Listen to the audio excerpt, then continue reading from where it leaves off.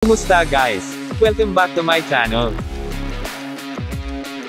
Ang guest team sa PBA na Bay Area Dragons ay nakipag-tune up sa college team na Ateneo. Panalo ang Bay Area Dragons laban sa matigas at matatapang na mga batang Ateneo. Sa score na 102 to 93. Hinambakan ng Bay Area Dragons ang Ateneo sa second half ng 22 points.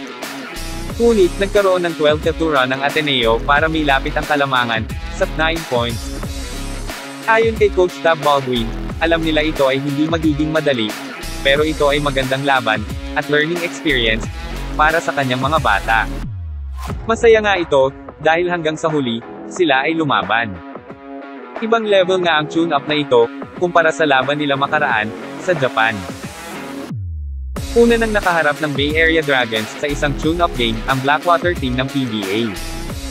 Di gaya ng 9 points na lamang nila sa Team Ateneo, tinambakan ng Bay Area Dragons ang Blackwater ng 38 points. Sa score na 121 to 83. Mas maganda pa nga ang naging resulta ng laban ng Team Ateneo kumpara sa PBA team na Blackwater. Maganda siguro kung may guest college team na din sa PBA. Magandang idea kaya ito. Ano sa tingin nyo guys? Comment down below. Sa kabilang dako, matapos ang apat na taon, balik bansa na nga si Jordan Clarkson. Muli nang ire-represent ni JC ang bansa sa paparating na FIBA Qualifiers 4th window. Huling stint niya sa Gilas ay noong pang 2018 Asian Games. Pumamada ito noon ng 26 points, 6.5 rebounds, at 5.5 assists upang pangunahan ang Gilas sa 5th place. Present nga sa Gilas practice, si JC, kasama si Nakay Soto, Chris Newsam, Dwight Ramos, Carl Tamayo, Francis Lopez, Ravenna Brothers, Kevin Oles, Calvin Octana, Scotty Thompson, Jamie Malonzo, Roosevelt Adams, Ray Parks Jr., at Arvin Tolentino. Samantala, present din ang tambalan ng taon na All-All. Al Panlilio at Al Francis Chua.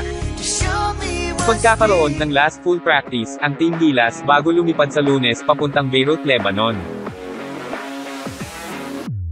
Taliwas na sa dati ng statement ni Coach Chot Reyes na hindi na natin kailangan manalo.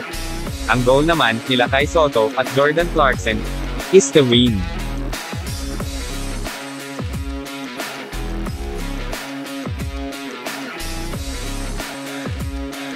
Kung nagustuhan mo ang video na to, please like, share, and subscribe para laging updated sa sports at iba pa.